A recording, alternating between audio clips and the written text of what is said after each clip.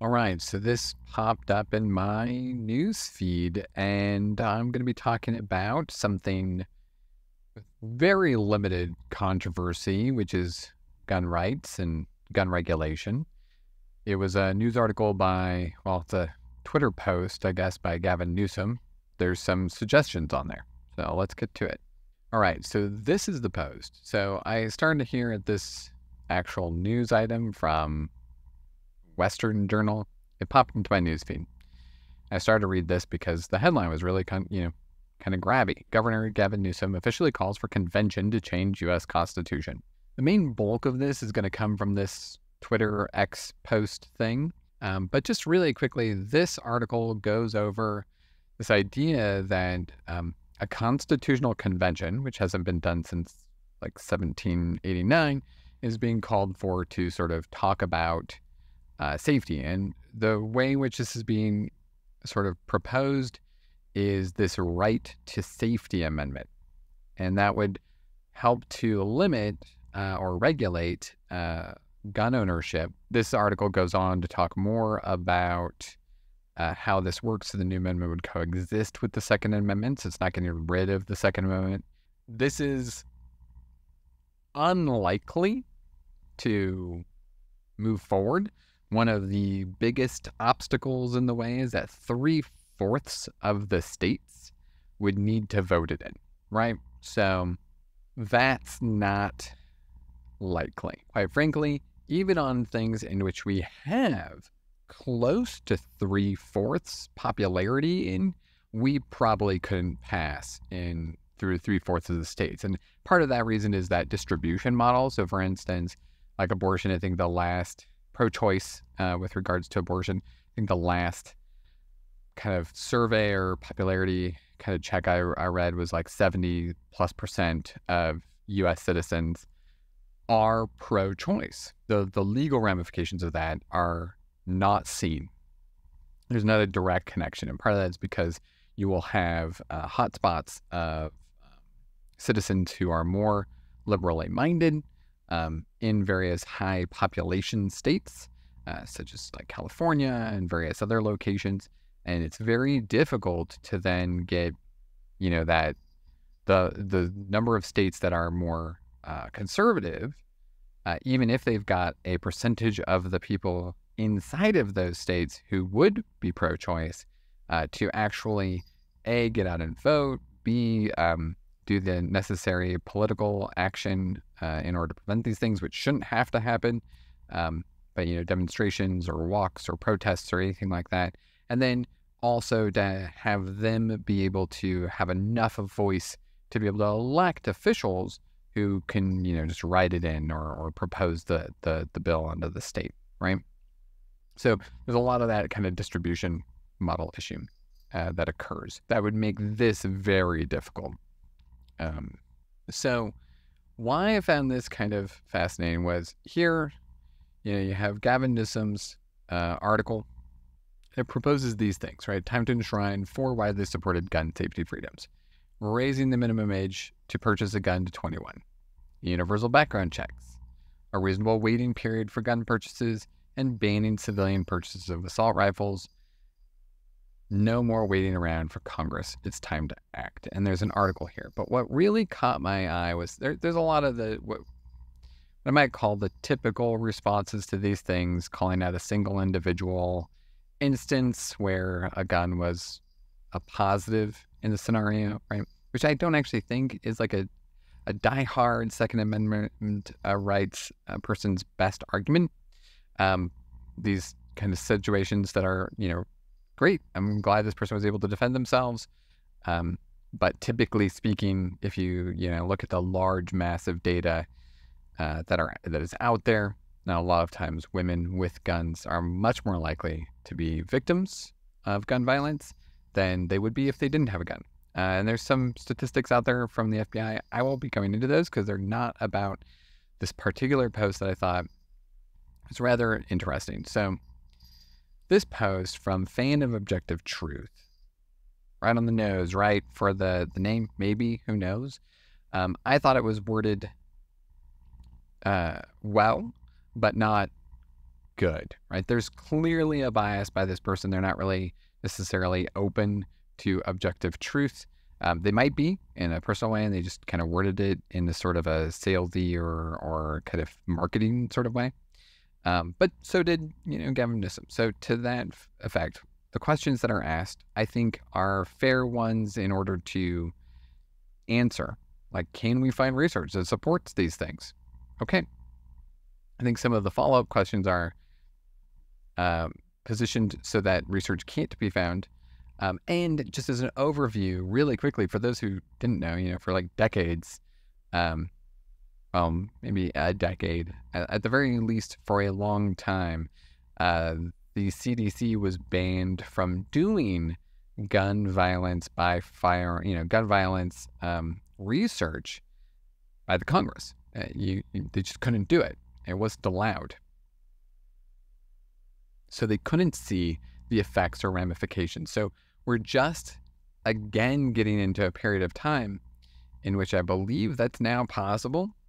Uh, but there's still a lot of influence that was built up during that time that, of course, prevents it from being long term or or good studies. And there's lots of threats or pressures that make it so that you might not want to do it. And then there's just a culture of not having done it for such a long time. It's really hard to get kind of the interest in research to do so because of the political will against uh, anything that might regulate the Second Amendment. Before getting going, the question you might ask yourself is where are my okays for regulation versus not okays. Now, if you're a diehard Second Amendment uh, 2Aer, uh, right, you might say there's no regulation, nothing can infringe upon it. Okay. So the questions you'd want to ask yourself is if a person was just released from prison and they were a mass murderer and they're now out for whatever reason, should they be allowed to buy a gun? That's a question. If you're saying yes, okay, you're still on board with your no infringement. If you're saying no, then you're infringing. Uh, you know, that's that's a form of regulation which you're saying is infringement, uh, or any uh, criminal for that matter, any felony, uh, a rapist, um, a murderer, a you know, um, child molester, whatever. Are they allowed, in your mind, to go and buy a gun? Uh, if you're going to put any limits on particular criminals, that is a regulation that is technically, in your mind, from your first presentation, an infringement on your rights. Uh, infringements on rights to own weapons. Okay. Second thing is what kind of weapons. So, should they be able to get rockets? I know it seems ridiculous, right? Bombs. What about um, fighter jets, tanks, um, nuclear weapons, right? where is your do you have a limit? Because uh, we you are proposing right that you're taking uh, old language that just says you know bear arms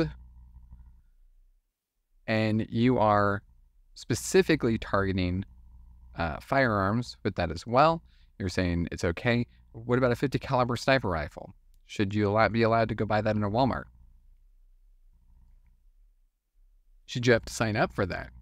Should you have to put any kind of licensing or registration down for that? Should you have to be tracked in any way, shape, or form when you make those kinds of purchases? So, those are the kinds of questions you have to ask yourself. If you're saying in any way, shape, or form that those things are limited, you ought not have those things, right? You're okay with some form of regulation. Whether that's where you stop, you're like, okay, if it explodes, no, right? Grenades, no, go, right? Whatever the case may be, you know, you may have a limit, you may have a line. You can't say zero limitations or regulations uh, are allowed, and any of those are infringements. Okay, so to this post, to this specific post, what is the 21 year age limit based upon? Is there a disproportionately high percentage of people under 21 committing crimes their own legally purchased firearms? I think this question would be actually better if they just stopped with what is the 21 year age limit based upon? Where is that coming from? The second part puts in their own bias or nuance um, and setting a, a sort of standard for a kind of answer that is very difficult to research. is there a disproportionately higher percentage of people under 21 committing crimes with their own legally purchased firearms? First of all, um, it's difficult to track a legal purchase to a child, right? Someone under the age of 18. And any kind of crime for someone under the age of 18 is oftentimes protected, right? So, what kind of crimes count? And are those crimes going to be protected? And can we actually uh, track that information? Can we even track the purchase? Their money may not be their own or coming specifically from them. It may come through a parent rental figure, even though it's them, right? So, legally purchased, but they're allowed to purchase certain things. Um, so, we, we want to kind of clarify this a little bit more. What is what I'm going to be researching is what is the 21 year age limit based upon? And then if there's information out there, um, the disproportionately higher percentage of people under 21 committing crimes might be worthwhile to investigate because there is a proposal to move it from 18 up to 21. So that's a it's a fair question. Like, where why are we choosing 21 versus some other age? Okay. Exactly what criteria from a background check would disqualify someone from making a purchase? All these exactlys could have been gotten rid of, and I would say that would make this post more reasonable, um, coming from a more of a standpoint of I want to actually find objective truth instead of trying to kind of influence that, like exactly what, because that's going to be um, setting it up for a technicality or a semantics argument that could then be used to counter and say, well, you didn't prove it 100%. Well, nothing's provable 100%, right? What's the likely answer? So just asking these questions would be better. So, what criteria from a background check would disqualify someone from making a purchase? There's already some answers out there. We already have background checks, uh, right?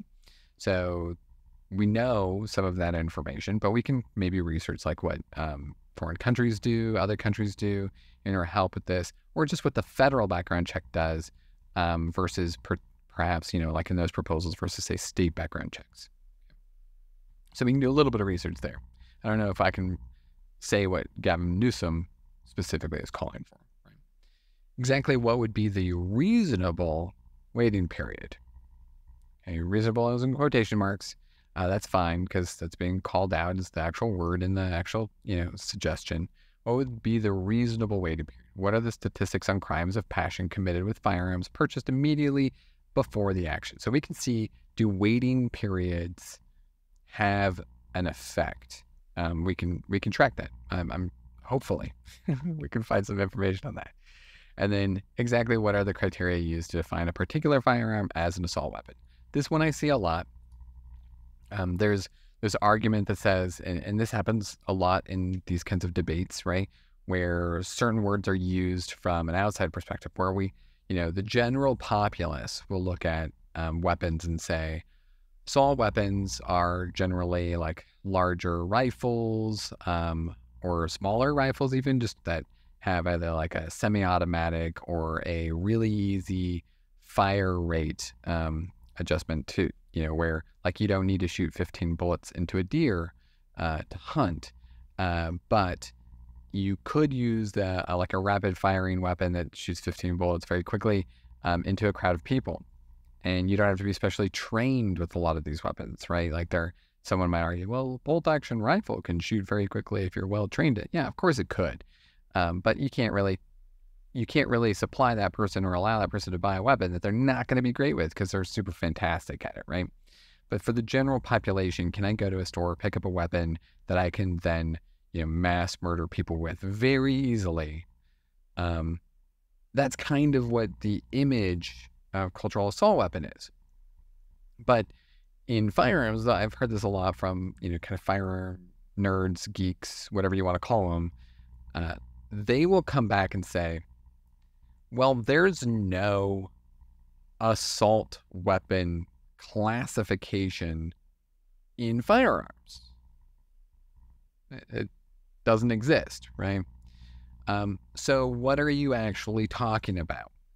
Yeah, a lot of times people will do this too, and there's certain laws out there that I, I remember watching a video where a guy would walk around parks with um, a gun, and it looked particularly menacing. But I, I forget it either had a stock or it didn't have a stock, one of the two. And that's what classified it different from a rifle versus handgun. And the law technically prohibited one of those two, the opposite of what he had done. And they did it specifically to get police to come out and confront them and film it, right? To uh, pretend to showcase police officers as not doing their job and protecting this guy. And they should have just ignored him because he, well, ignoring people who just have a gun walking through a family park seems, by most people's standards that I've ever met, um, strange, uh, especially in a day and age where those kinds of people might cause harm. So they are disturbing the peace, even though it's like a protected form of disturbing the peace, right? You can still call the cops every single time when that is happening. Uh, but especially like a family park, right? And you're not going to wander up to the person and be like, hey, are you planning on shooting all of us today? Right? You want to be on the side of safety. And that makes sense, especially if you've got your kids there or whatnot, um, and cautiously uh, from somebody like that, because you don't know if they're crazy. You don't know if they're purposefully doing this and aren't crazy. Lots of questions. And the harm of not asking those questions could literally mean death, even if that's a low probability. Uh, it has high impact, right? So low frequency, high severity. Um, those sort of situations, you are going, hey, um, police officer, I would like to know. Whereas in a stand your ground sort of state, right? If a person like that was wandering through that park and you happen to have a gun on you, um, you could just shoot them. Even though they were doing their legal right of carrying a weapon, you felt uh, threatened right? So if you were to shoot and kill that person, would he, you know, and say he lived, would he still be going like, well, good job, you know, you were following your Second Amendment rights to carry a weapon, you were following your state law in order to stand your ground? Probably not, right? He would probably be like, why were you shooting me? I was just carrying a gun. Okay, well, that, that's not how those laws work. Um, anyways, I'm thinking these questions are great questions to ask in terms of can we actually find information on this? What what information does this have? um, with those caveats that there's not going to be a lot of studies potentially that are new, um, or the studies are going to be so new and from such third parties that they're trying to build funding. So I anticipate a lot of this stuff is going to be data that isn't very compelling, even if it might be compelling to start so that we can see its its effect, right? Um, and I don't necessarily agree with all these. I don't know exactly where we're getting all of them from.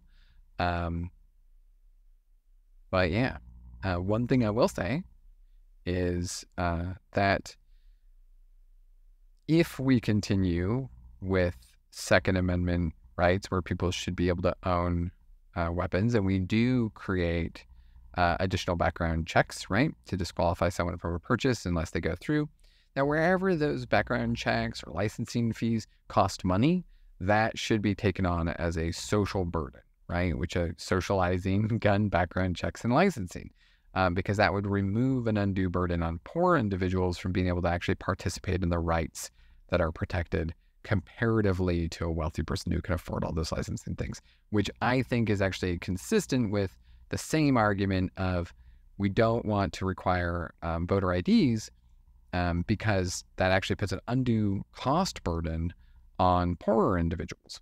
Uh, because you know you might think 110 to 600 dollars sometimes to resolve an ID issue is a small cost, right? To a poor person, that that's the that could be an an un, unattainable uh, amount of money in order to get an ID. So they wouldn't be able to exercise their right of voting, or even if you did, uh, even if they could put aside that money over a long period of time, it might mean the differences between eating and not eating in some instances, right? Um, there are situations like that where what we consider a small burden to some people is actually a rather large burden in order to exercise their rights. And so I think that that um, should play out in any requirement or mandated uh, background checks as well, uh, just to be consistent. Anyways, um, I don't own a gun. I'm not a pro gun person.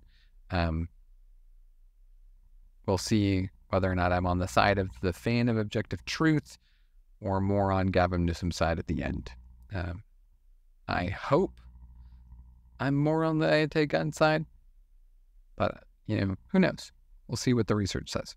Okay. So first thing I want to do is just kind of ask this question: Where you know does a 21 year age limit actually matter? There, there's some research, RAND.org. I do kind of want to know what age a person can buy a gun in America across the board. I'm pretty sure there's not restrictions on rifles, but restrictions on handguns. The effects of minimum age requirements. Let's see about that.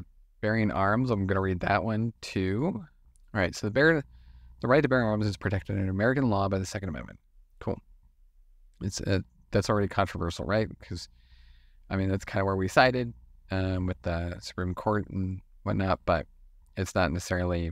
We don't know what bear arms actually means, right? Uh, it's a controversial topic. Yeah, we agree. It says federal law prohibits the possession of a handgun or handgun ammunition by a person under the age of 18. So handguns are more limited. Federal law prohibits no minimum age for the possession of long guns or long gun ammunition. So we already have a federal law that is restricting or infringing the rights of a person to bear arms. We could probably argue that below age of 18, they don't really have rights. I mean, no, the Constitution doesn't protect them. Um, that could be an argument. So no federal law, no minimum age by federal law for the possession of long guns or long gun ammunition. So long guns or rifles and shotguns. Uh, licensed gun dealers aren't allowed to sell handguns to anyone under the age of 21. This is actually tricky. Licensed gun dealers. One of the things I ran into is what makes a licensed gun dealer. And in short, in most places, it is a person, you know, a, a person or, or business that is in the primary business of selling guns, which means if they are not in the primary business of selling guns, they're an unlicensed gun dealer. What's strange is in many, many, many, many states, and I couldn't find a state where this wasn't true, but I'm sure there is, and I'm not a gun law expert, but it was startling to me that unlicensed gun dealers, I would intuitively think a person's unlicensed to sell guns, they can't sell guns. It's not true. Unlicensed gun dealers are allowed to sell guns which makes it weird to me because they actually have sometimes fewer restrictions uh, than a licensed gun dealer would. Um, so, just as some examples, for example, in Vermont, they go to sell a handgun or rifle to someone over 16. Um, in Maine, Minnesota, or New York, you can sell a rifle to someone over eight, uh, over 16. In Minnesota, as long as it's not in the city, you can sell a rifle to a 14 year old without parental consent. And they put in here for context the legal drinking age in the US is 21 because this is a place in the UK. So they have to do, both those things where may be a little bizarre to them.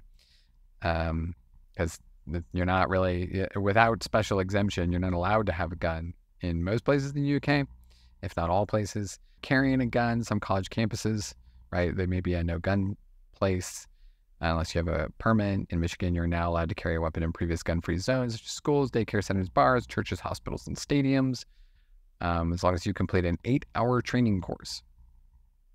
Uh, they're extremely strange laws to many of us here in the UK, particularly as our gun laws got dramatically stricter after the Dunblane uh, school shooting there. All right. So that's just a breakdown from an outside perspective. Doing research to normally have any incentive to change those things. And generally, that's what I've seen. Let's go to here. The effects of minimum age requirements. So this was updated January 10th, 2023, so relatively new. Um, and specifically talking about minimum age requirements. So under federal law, licensed dealers cannot sell or deliver handguns to individuals under the age of 21 or long guns to those under age 18. Unlicensed individuals cannot sell, transfer, or deliver handguns to individuals under the age of 18. With some exception, federal law prohibits individuals under age 18 from possessing handguns but it does not place age restrictions on the possession of long guns.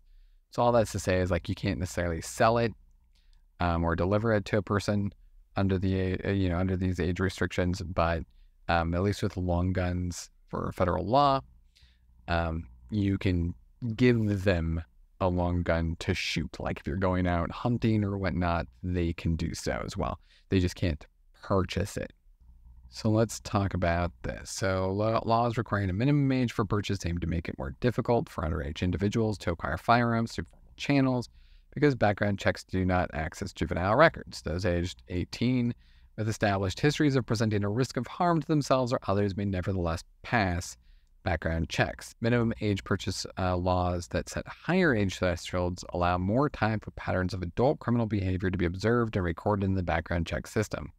Laws requiring a minimum age of possession are instead intended to make it more difficult or risky for underage individuals to carry firearms. Okay, so with an age of 21, means you've got basically three years of activity for the background check to pull on. But age 18, you have zero years in many instances. So if you're an exceptionally violent 17 year old, but it doesn't, it stays in your juvenile record, then you could turn 18 and go and buy a gun without really any restriction.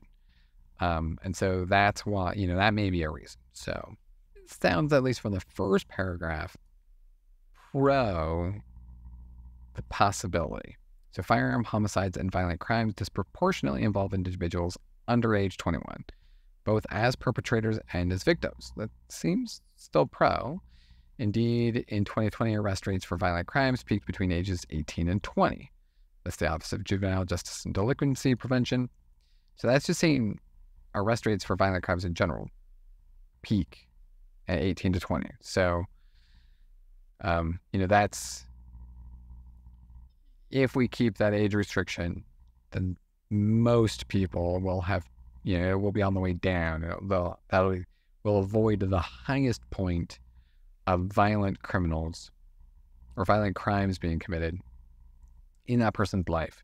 So, although they may have used a knife in particular examples, if they could afford a gun, you know what what would have happened then? So, of the 12,319 firearm homicides committed in 2020, for which the age of the offender was known, 44% were perpet- perpetuated, uh, perpetrated, sorry, uh, by individuals aged 12 through 24, um, which is only 17% of the general U.S. population. So it's a disproportionate uh, ranking. We know that the peak is 20, so 12 to 24. I'm wondering why that entire range is done. Maybe we can find more on this. This one's talking about the United States being one of the few countries worldwide where the rates of both firearm homicide and firearm suicide are higher than the global medians. Wow, an assessment of the global burden of firearm mortality found that the United States can for more than 90% of all children and youth killed by a firearm across 23 high income countries with pediatric firearm mortality rates that were many as 49 times as high as those in other countries. I guess they're including suicide rates here, but still, that's that is really high. Um, it's really telling, right? So this is just saying that the United States holds a per capita rate of firearms much higher than other places. Uh, the second highest country's rate is less than half as high, and Canada's rate is only a third if the U.S. is still ranked in the top 25. Numerous international and U.S. studies, meta analysis, and systematic and scoping have found that higher rates of firearm ownership and access are linked to higher firearm violence. We'll check these meta analyses, try and get the latest one there. Okay, kind of back on track. Let's go back. Okay. Um, of all 2020 deaths among those aged 16 to 21, 25.2% were homicides. 93.5% of which were firearm homicides. Now, that isn't to say that 93.5% of these 2020 deaths, right, like the quarter of these, so 95% of that, uh, still almost 100% of these, this quarter of homicides. Um, it's not to say that if we eliminate guns, we'll only have 6.5% of these homicides left, but it is to say that that is the current standing right? And so they're not going to be 100% replaced by like knife homicides. That's just much harder to do. You know, lot, lots more risk for the person who's, you know, actually committing that crime. Anyways, um, but it is to say, it is fair to say that these, you know, this percent of those homicides is not just going to vanish because guns are gone. So I just want to be fair. Um,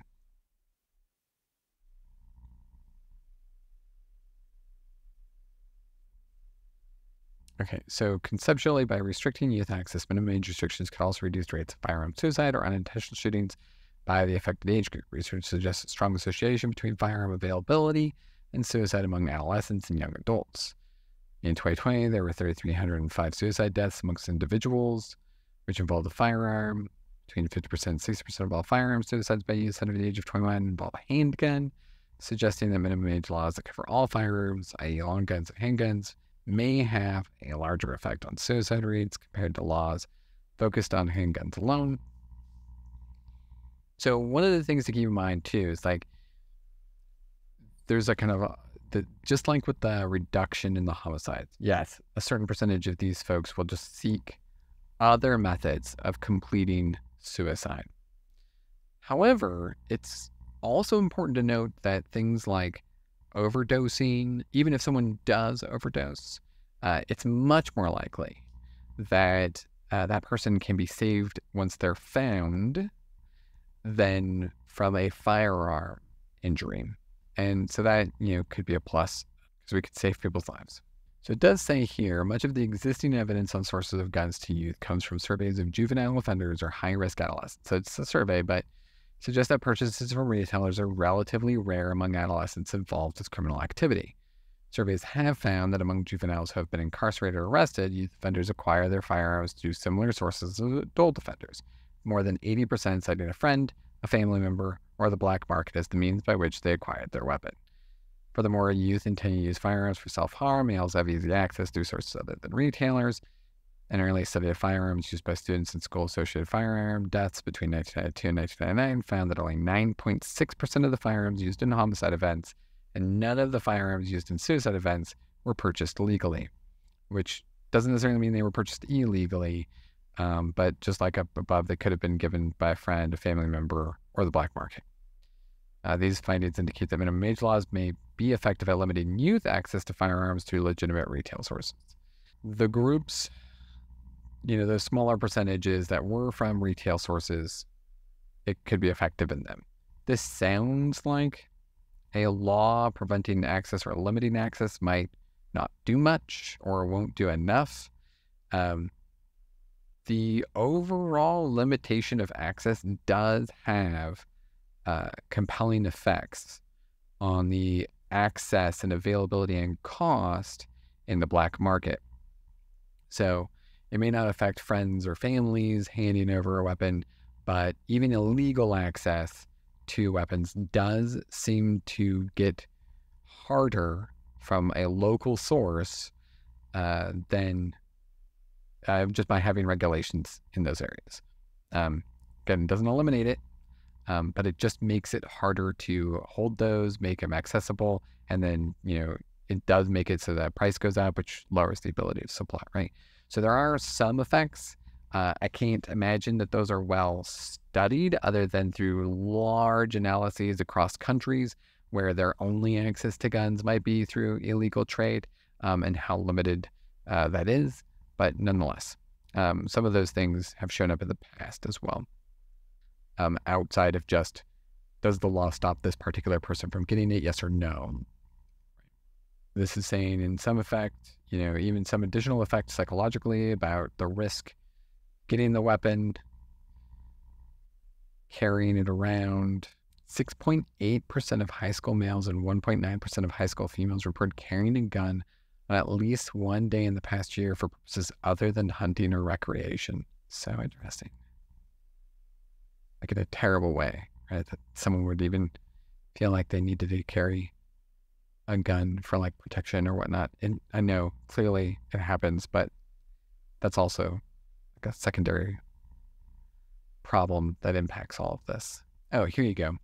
So much of the conversation about minimum age restriction revolves around handguns rather than long guns, because handguns are more frequently used than long guns and firearms suicides and violent crime. So, in theory, raising the minimum age for such weapons could decrease violence without impacting lawful activities such as hunting.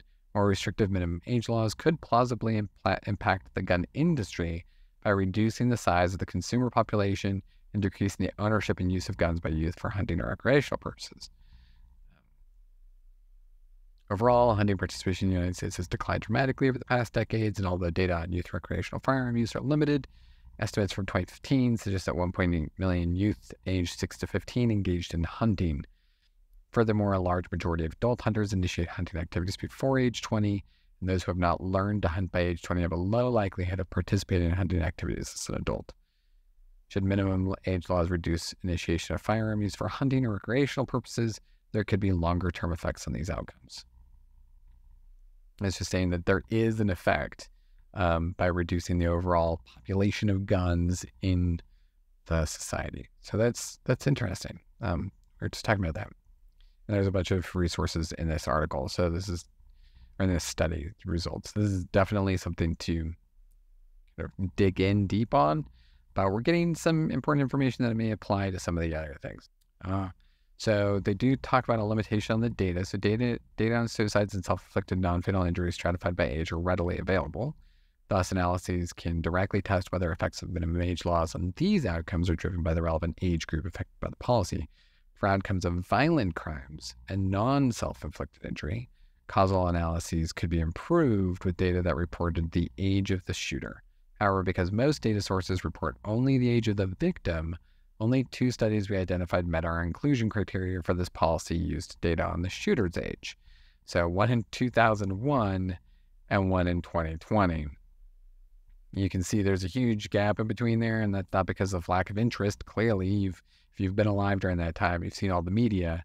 Um, that's because of the the prevention and dangers of even bringing this up, you know, politically. Like if you're a Congress member and you bring up gun rights, you're probably going to see huge public movement uh, against you from certain groups, and not that much of a push from the people who are on your side, even because they just, you know, that's like preaching to the choir. Everyone's like, yeah, we've heard this a million times. No one's going to do anything about it, right? They're trying to set up this, the research here. So methodological methodological approaches could also leverage state variation in the types of guns restricted and the minimum age laws for outcome data and have information on the type of firearm involved. All right. So state of implementation of minimum age requirements. As of January 1st, 2021, 17 states the District of Columbia have minimum age requirements that exceed the federal minimum age for the purchase of a handgun from unlicensed persons, and eight states in the District of Columbia have minimum age requirements that exceed the federal minimum for handgun possession. Several states also have minimums that are higher than the federal law for long gun purchase and possession. Eight states in the District of Columbia restrict all handgun sales to individuals aged 21 or older and long gun sales to individuals 18 or older. In effect, this raises the minimum age restrictions above those set by federal law in two ways. The age to purchase handguns through private sales is raised from 18 to 21, and minimum age for private sales cuts to 18. Okay, so this doesn't. sustain the effects. Um, so there's no study that says the you know we found no qualifying studies showing that minimum age requirements increased any of the eight outcomes we investigate, which is mass shootings, unintentional injuries, deaths, for, and may decrease suicide, no has been our criteria for defensive gun use, gun industry outcomes, hunting and recreation, or police shootings. So these, we no clue increase or decrease. There's some inconclusive evidence here. So click on mass shootings. Oh, so here's interesting. So they did see some information here. So the author's analysis covered 1989 to 2014. It's a pretty good range include controls for state fixed effects, national trends, and a host of other state level gun policies, as well as time varying state level demographic, socioeconomic, and political characteristics. They found uncertain effects of law saying 18 is the minimum age of purchase and the probability of a mass shooting event occurring, but they found a suggestive effect consistent with laws setting 21 as the minimum age of purchase, reducing the likelihood of a mass shooting occurrence in models that include controls for political factors. However, it should be noted that assessing the effects of gun policies on mass shootings was not the primary focus of Luca, Malhotra, and Pollock in 2016. So they weren't looking for this, and they did find some effect uh, for estimates. But again, it's inconclusive, right? We don't have these gun policies in effect, so we can't for sure say. We can't go back in time, right? We can't go back in time and rerun the same scenario.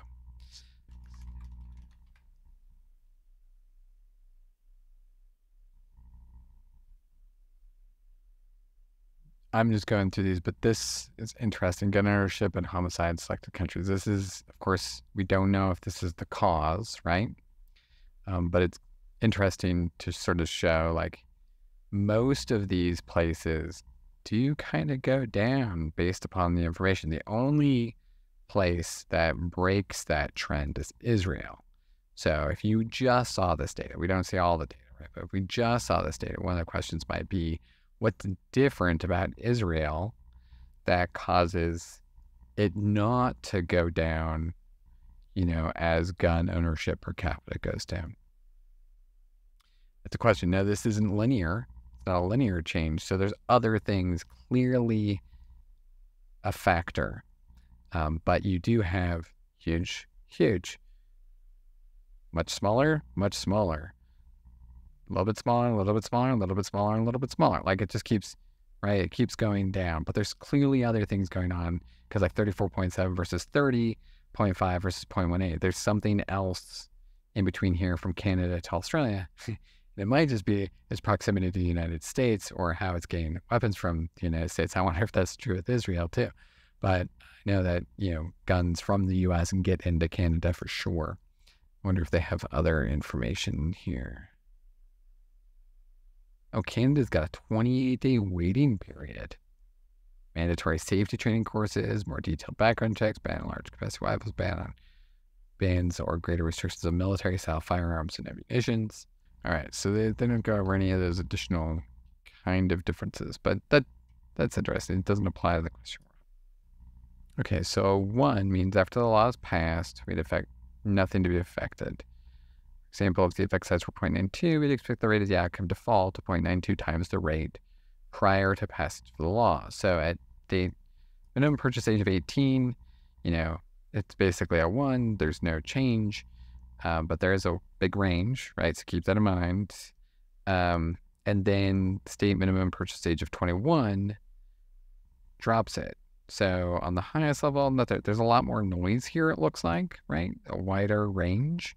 Um, but the with from their rating of the analysis, their prediction would be that basically like gun violence would fall in half. So again, not perfect, but fall in half. That's pretty effective, right? That's what they're trying to say. For mass shootings, that's mass shootings would fall unintentional injuries and deaths. So they couldn't really see on this one. They have, lot, they have lower comparisons. They did specifically seek, like, looking for this information. They also only found one, right, study. Again, we need more studies. So inconclusive evidence. Um, but from the evidence seen, the the hypothesis might be that it would lower, it may decrease, but we don't know, right? Here we have five studies for violent crime. That's better. All because it's so conclusive that those who were not really doing anything before and were caught by this might be seeing the effects of that broader suite of policy changes. More limited information studies. So, something definitely to be studied because they're seeing sometimes effect, sometimes not so much effect. But it does lend to maybe where that 21 year age kind of statement's coming from, right? Which was the question we kind of set out to answer. There's a couple of things, right? One is violence peaks at 20 for most of these groups, possession, ownership, purchase, um, all kind of connected together. Low seem to lower. Estimates say suggest uh, there would be less crime committed by those folks if they weren't allowed to get a firearm till they were 21 uh, from actual events taking place. But the data is small um, and thus inconclusive. And in some instances, um, it shows no effect at all. Okay, got it.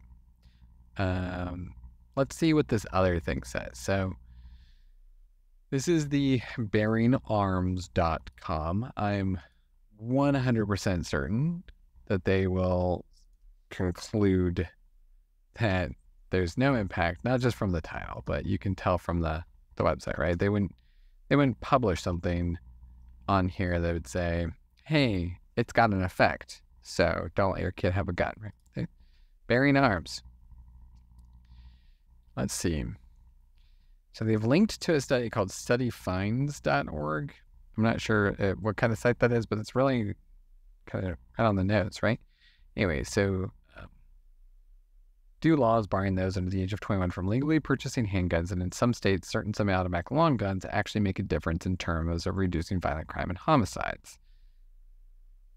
So this study, surprisingly, doesn't show much effect. This isn't a study, though. This is an article. Here we go. The study is published JAMA Pediatrics. Let's follow this trail. Here we go. Hey, Mo. I wonder if this is the same Mo. Could be the same article. Uh, our state laws that raise minimum age purchase handguns by young adults. And this difference in different states, the national cohort, there's no statistically significant change in the rates of homicides perpetrated by young adults aged 18 to 20 in states that implemented stricter minimum age laws compared with those that did not. Wait, wait, wait. Are they specifically talking about firearms? This is a, this is a little confusingly written. Like if we're looking at this specifically, rates of homicides versus firearm homicides. Okay, so implementation of stricter minimum age laws for firearm purchase or possession was not associated with lower rates of firearm homicides perpetrated perpetrated by young adults. Policies limiting access to informal channels may have greater effect. We saw a little bit of that, right, in the other article. Um, I'm interested, though, what they suggest for these informal channels, because bearing arms is basically linking to this through it, the network of stuff, right? So in the other article is talking about how difficult it was to get the age of the perpetrator. So I'm wondering how they got them, but maybe they just looked at studies that showed the age of the perpetrator. Hmm. Okay, so this one does show that child access prevention laws have demonstrated associations with reductions in suicides and unintentional shootings by children and youth. Cool. This is, this is the understatement of the year. Legislating firearms, however, is a logistically complex and politically contentious undertaking. Yeah, for sure. The effects of many state firearm laws ostensibly intended to prevent lethal violence use firearms have not been studied. Yeah, we talked about a little bit of the complication there. Uh, so here's one of the things where I think it's always really weird. Although the Federal Gun Control Act of 1968 established a minimum age of 21 years to purchase handguns from licensed dealers, the law did not extend to unlicensed dealers. Again, that seems so bizarre to me. I, the unlicensed dealer gets to do more stuff legally with fewer with less oversight than the licensed dealer. It just seems bizarre. Why are they even selling? Or how did they? You know, why are they even allowed to sell anything to begin with? Anyways, this changed in 1994 when the federal government established an age. Now, they are sort of limiting it. So, their objective was to evaluate whether state laws that raised minimum age to purchase or possess a handgun to 21 years were associated with lower rates of firearm homicide per- perpetrated by young adults aged 18 to 20 years there might be something that's slipping through the cracks with this limitation, right?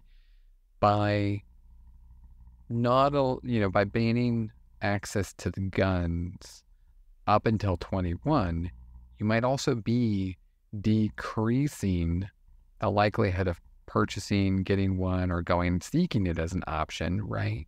For those people who are 21, 22, 23, 24 25, yeah, right? Because that peak violence at 21 so I'm wondering if they limited themselves artificially this way, like were firearm homicides just reduced overall because access became less likely? Because at the end of the day, if the goal is to just reduce firearm associated homicides, but not as concerned about which age group of people are essentially victims, right? We're just trying to lower the number of victims overall. We don't really care who's perpetrating them, rather, I should say. So it doesn't matter if it's a you know 30 year old man or woman versus an 18 year old man or woman. It's just lowering the number of men and women committing crimes, gun violence that cause you know gun murders, right? You, you know what I'm saying, right? It could have an effect outside of that realm, but they're limiting the scope. But we'll see what says. So, so here's states without stricter minimum age laws, states with stricter minimum age laws. And you can see some of these, like Maryland, just boom over the time, right? It's like it's tricky because Massachusetts, New Jersey, New York, and Wyoming who knows what's going on? Otherwise, with those, right? You have some of but Maryland has this crazy drop. It's tough to see if any of those happen here, but I see I mean, you get a lot more noise here. These generally are resolving quite a bit lower. Right? This is starting way higher. You see this peak, this dramatic peak. I guess I don't know what year that was, just kind of identify what was going on, but down, up, down, up, down. It's so interesting. But you can see the other four states, other than Maryland, are way below that median income, median uh, line. Huh. And you've got quite a few down here, but they were looks like maybe we're always down there. So that might be adjusting for this. I don't know. It's tough to see based upon these figures alone, like which one's which. Yeah, like that 0.21 in Massachusetts to 1.74 in Maryland. Maryland was suffering some kind of problem, for sure. Yeah. So since they're not acquired legally, they didn't see much change. But there is interesting, some interesting data for some places um, that could be studied likely more. Like what else is going on, right? Oh, interesting. So only until they can find the person and kind of link it, um, it is saying that crimes made by non-contact weapons such as handgun were less likely to be cleared than homicides including contact weapons such as a knife, right? So even if maybe there's not a change in homicides, could shift some in that direction. And they talk about confounding possession versus just purchase, Okay. I think I think we're good there. Okay. So what else does this say? Kaylin Mount. Oh, that's the same person. Yeah. Okay. So we're seeing that that kind of informal access is what we can identify, but there's a lot of confounding other issues. Now they're saying coerced to use reduction is a way of helping to reduce crime because it's related to criminals. I don't know what this is. One of the compounding things this article goes over is um, the amount of stolen gun stockpile is estimated to be somewhere near 200 million guns which confounds a lot of this process. Now, this is 1996. So, I mean, I know that the way that some other countries have handled that is they do an optional buyback program, right? Like people just can sell their weapons for a pretty good market rate to the government, just purchasing them, and then they get destroyed, right? Um, that happened in Australia. That happened in a couple other places. Um, and that usually has, you, would be surprised, right? Like if I'm a poor person on the street who uses my gun to you know, steal five bucks here and 10 bucks there from people holding them up, you know, I'm going to, I'm going to sell that gun if I'm going to get hundreds of dollars for it, right?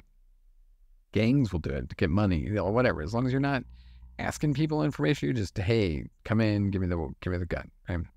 And then we'll do it. Boston Gun Project. We're gonna have to look that up more, but it's the only thing this goes over. So I would argue that, and it's kind of old, yeah, in a 1996 paper. So that's pretty tough. So they're saying the widespread adoption of the strategy in Boston way to ju- juvenile, juvenile homicide rate by more than 50%. Operation Ceasefire seems like something that hasn't continued. But anyhow, seems pretty clear that right now the answer to the question what is what is the 21 year age limit based upon? Would be that violence from perpetrators peaks at age 20 and so if we can help prevent guns getting into those people's hands below the age of 20 there's that. There's a peripheral effect of reducing the supply of guns available to people to get informally.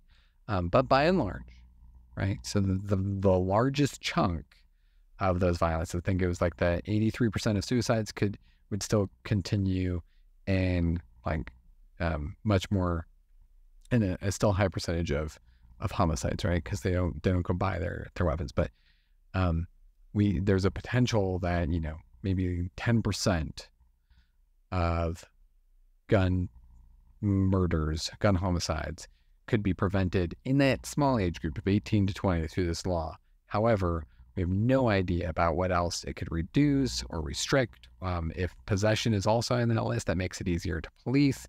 Lots and lots of things could be peripheral to that. But to be fair, um, we don't have a great answer to that specific idea of 21. Why 21? Okay. What about background checks? So, well, the first one is can you reduce gun uh, universal background checks? Can they reduce stuff? Um, effects on back of background checks. I think we maybe we read this right.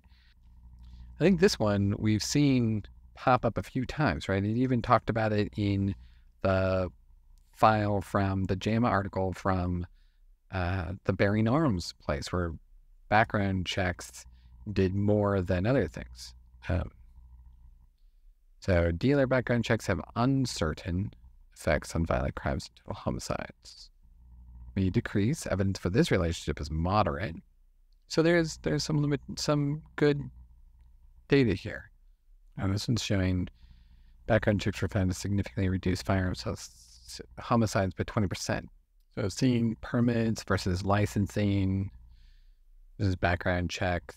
So generally agreeing that background checks with proper permitting to purchase kind of processes set in place, purchase, no, permit to purchase. Generally, what these are showing is that background checks are mandatory at all points of sale from private, individual, and dealers has a net positive effect on, well, negative effect on the actual homicide rate, right? Lowering the amount of homicides, but positive on the city, county, or state uh, level reductions. Now, they don't have the ability to, you know, test that same state again, like without doing other stuff, but through these data analyses, um, they're able to see, you know, oftentimes 10, 13% reduction in gun homicides. And that's that's pretty good. Um, background checks on their own, right? We're not even talking about um, waiting time frames. So we're seeing like in most instances we've got some good things. So 10 size meeting our inclusion criteria, examine the effect. Yeah, so mental illness, restraining order checks, or fugitive status checks, reduce violent crimes specific to homicides, and then others miscellaneous. But misdemeanor offenses didn't seem to have a, as clear. So they're talking about just in general. So overall dealer background checks may be uncertain, but some components do show a connection. So they're still leaving it as uncertain, even though they have some evidence above as listed. Universal background checks. This was the one with moderate. So in cities, a significant 12% reduction in homicide in U.S. cities after these laws were implemented, but they don't see us. They see an uncertain effect in rural areas, which might make sense because if you're 14 miles away from somebody, you're probably less likely to also want to murder them. Homicide rates drop 11 to 15 percent, 11 and 15 percent respectively, according to the studies. 3% reduction in workplace homicides. Saw that universal background checks implemented as part of a permit to purchase laws were associated with significantly reduced firearm homicides. So overall, it's looking like, generally speaking, background checks at the dealer, private sales has a general decrease. Seems more open, more clear, right? Moderate evidence. It's not clear, right? Obviously. Um, we still need to do testing and things like that. But um, what exactly we're looking for in those background checks may or may not have more moderate effects. So mental illness, fugitive status, and misdemeanors, right? Restraining orders. There you go. So included background checks, restraining orders, mental illness, fugitive status, and misdemeanors. Depending upon what it was, could have an association. So we're going to mark that one as pretty good. So the the answer to the question, right? So we're we're down to number two. So what is the 21 year age limit based upon? We answer that question. For the criteria with the background check, that would disqualify someone from making a purchase. Um, we can see with the we already looked at the background checks, which ones had the most effect. So we could see that association, and we could keep tweaking that and optimizing as time goes on, right? Um, as we needed to. Um, but that seems like there's definitely something there uh, because we saw lots of moderate evidence for that. So, what would be a reasonable waiting period? Um, we'll do these two. We'll kind of go from there. So, um, from science.org, gun waiting periods could have hundreds, could save hundreds of lives a year, study says. Keep in mind, Canada's got like a, what was that, like 28 day, 38 day waiting period? It's, it was pretty long. They found the states with mandatory waits, no matter the total length, had on average 17% fewer murders and about 10% fewer suicides. That's pretty good. Oh, here's interesting. So, in 1994, the Brady Handgun Violence Prevention Act mandated background checks for all handgun purchases from licensed firearm dealers nationwide, as well as a five day waiting period to carry out these checks. That meant that 19 states without waiting periods suddenly had them. Found a sharp 70% drop off in gun homicides, 6% reduction in suicides. And the states has waiting period laws. Okay. Still always some questions on whether or not it's a causal relationship, of course. Okay. So that's an article. There's some reports here. I want to see what this this has. So uh, the Brady Handgun effect five day waiting period may decrease suicide and violent crime, and, but not defensive gun use, hunting or recreation, police shootings or unintentional injuries and deaths. So they didn't see anything related to those that met their criteria.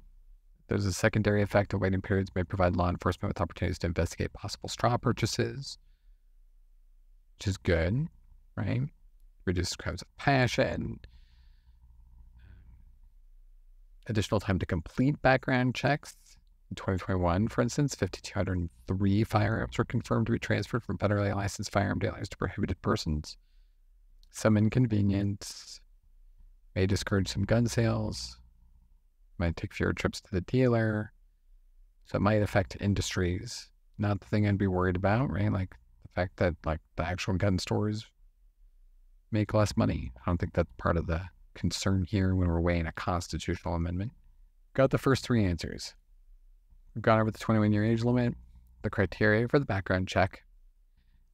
What would be the reasonable waiting period? Literally any. Any waiting period. And we went over the statistics on crimes, uh, on just not even crimes of passion, just gun violence and gun murder. I don't really care if it's a crime of passion or not. So that's one of those specifically targeted questions that we don't really need to answer. And what are the criteria used to define a particular firearm as an assault weapon? So this is the last question. Here we go. So since Gavin Newsom is from California, let's take a look.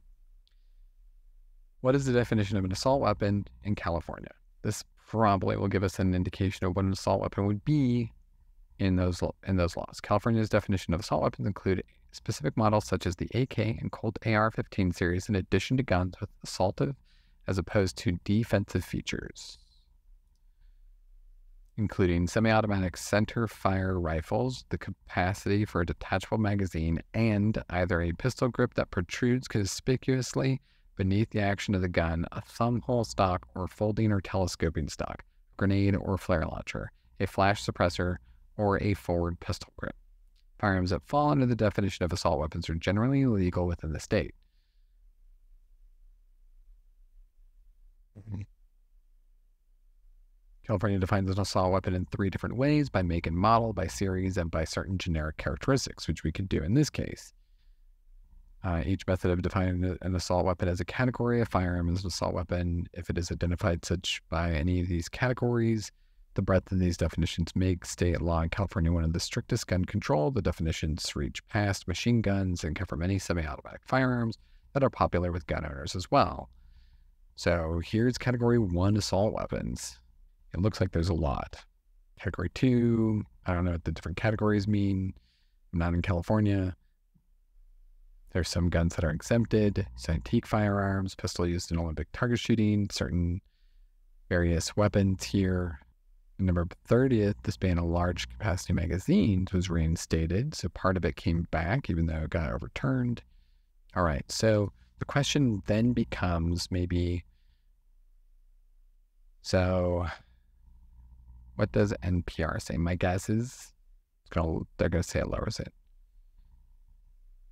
Joe Biden helped with that. In fact, we saw a 25% reduction in gun violence associated with those kinds of slaughters. Okay. They say there's no study. So just assault weapon bans or buybacks will have little, if any, effect on gun rates. So I'm so interesting. Okay, they're using Wikipedia. Oh, where are they getting this? Okay, Mother Jones they're comparing strain. Oh my goodness.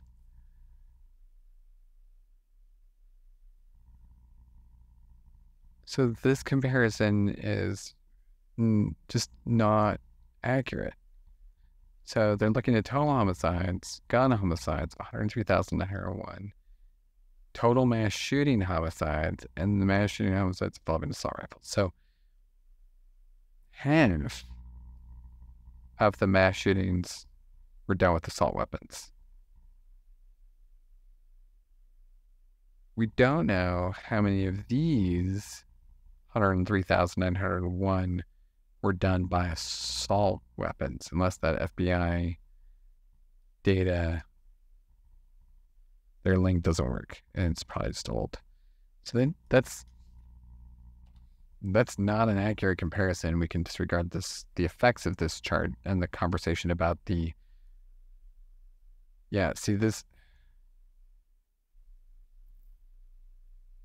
they're saying that assault weapons constitute 0.17 and 0.24% of all homicides of firearm homicides respectively. Are, are they just taking 253 and dividing it into 103,000? Is that what they're doing? Yes. That is exactly what they're doing. Um, which means that they're completely off base with this assessment. Um, because we don't, again, we're not talking, we don't know how many are in here. Over the last five years, 261 people were murdered with assault weapons and mass shootings, an average of 52 murders annually. Yeah, it would take 30 years of mass shootings, but what about regular shootings? They're they're oh my goodness. So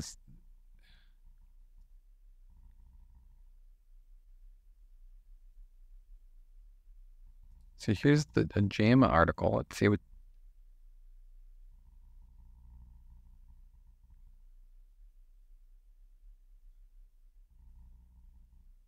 firearm laws. So this is from that site. That site linking to firearm laws and firearm homicide systematic review. We so stronger gun policies were associated with decreased rates of firearm homicide even after adjusted for demographic and sociological factors. Strengthening background checks, permit to purchase, specific laws directed at firearm trafficking, improving child safety, or banning of military-style assault weapons. Oh, we're not don't understand. Where's the full article? So this is interesting. They're pointing to an article that says laws strengthen background checks and permit to purchase seem to decrease firearm homicides, but specific laws directed to firearm trafficking, improving child safety, or banning military style assault weapons were not associated with changes in firearm homicide rates. Ah, well, I can't get to that. Someone has this fall, that would be good. But it does seem to go against what we've seen otherwise, right? Well, I can go against, but also counters, right? Okay, so yeah, gun crimes involving assault weapons declined. However, the decline was offset through at least the late 90s by steady or rising use of other guns equipped with large capacity magazines. So, assault weapons, which in California includes large capacity magazines, does have a good effect though effectiveness is difficult. This is interesting. How much back and forth there is. So, background checks, that screen for mental health is something that even this place agrees with. The average firearm homicide rates in states without background checks is 58% higher than the average in states with background check laws in place. Only 13 states, including Massachusetts, laws requiring universal background checks. So I'll link this one too. Right now I'm getting to the end, so I'm trying to get through somewhat quickly. So we're going to see what RAND has to say. So far, they've done a, it seems like a pretty good no. I don't know. Um, it's tough. They at least are fair with some of the stuff they're talking about. Some things are cosmetic. That seems likely. So assault weapons with high capacity magazines are usually together. That confounds the issue. They repeat the majority of crimes are not conducted with rifles, but with handguns. most of which are not considered assault weapons, although most assault weapon bans also list certain assault pistols among the banned firearms. Okay. This is where I was talking about like the rifle versus pistol thing with the person in the park is very it's very bizarre to me as a non-gun person. I would just say look at the crimes that are being committed and which weapons are there and see if there's a commonality that makes them lethal, right? more lethal than not. And if you're going to put restrictions or extra background checks on things, put them on those weapons, maybe. It, it doesn't feel like it's an unsolvable problem to limit the regulation to the most likely used weapons. Okay, so it's kind of inconclusive if you just do assault weapons, but no one just does assault weapons. Do assault weapons with high capacity magazines and oftentimes bundled with particular kinds of pistols. And that seems to generally have an effect. Yeah, this is the study that just did one a little bit of time afterwards. They're very focused on mass shootings, which I get. Like, mass shootings are very, they're such big events that they make news, right? All right, so let's go back to this Twitter post. 21 year age limit seems to have some basis in reality and more study necessary, um, plus secondary effects. Uh, we need to study those long term secondary effects or peripheral effects on it, like lowering the supply or having an effect on a person who's older than 21 uh, or 20, rather, right? So the 21 year and higher, where they could get them. But it does seem to have an effect, at the very least, with handguns, potentially in such cities, things like that. So there's there's some there's some evidence that seems more compelling than not for that age limit, but it's also inconclusive. I'd say this is probably the least conclusive one because we have very bad data um, and not a lot of data about like all of the the murders and what the age of the criminal is, right? Criteria for the background check that seems really as a pretty clear answer. We have some specific background checks already in place. I don't know all the things that go into them, but we looked at a couple of things that seem to genuinely lead uh, to reductions in homicides. Uh, waiting periods, it seems like any waiting period seemed to tr- help. Just any waiting period in any state across the United States. Um, there wasn't compelling arguments for like a really long waiting period, like maybe Canada has or other you know countries have. Um, but any waiting period at all. So we could start there, right? Um, exactly what we what are the criteria used to find particular firearm as an assault weapon? There is very clear criteria about that across a bunch of different states, but in particular for Gothicism, it's probably the the classifications that were in the California assault weapon ban. Um, and the effect of that is inconclusive on whether or not the assault weapon is the cause or other parts and particular features. But we could certainly, if we sort of open the door to a lot more data and analysis and long term studies, see, we could start maybe conservatively, right? Like, so we'd look at large high capacity magazines and we'd look at particular, you know, nuanced features and, and put those in there. Just start there, right? Start with something, see if there's an effect. If there is an effect, we can start adding certain other features. And if we found that certain features did not reduce homicides, right? We could take them out of the ban. That doesn't seem like it's difficult to do in terms of an analysis or analytic sort of way. It seems like it's difficult to do because of political will. But as we talked about, if you're for any kind, so you're for any kind of regulation, you cannot stand behind the idea that the Second Amendment allows zero infringement. If you're for the zero infringement mentality, you've got to be logically also for allowing violent criminals, rapists, molesters, anybody who's gone to, you know, the you know, prison and come back or committed any of these crimes before to having access to these weapons. Um, because that right requires no infringement possible, and you're literally infringing on their right to have access to that if you're having these. But we know background checks work in particular ways. Uh, we know that uh, some of these other effects have definite, you know, reductions that seem good. And again, maybe we start more conservatively on this. We we do the ones that we have the best evidence for right now. Huh? We start with those, opening it up to review forced review.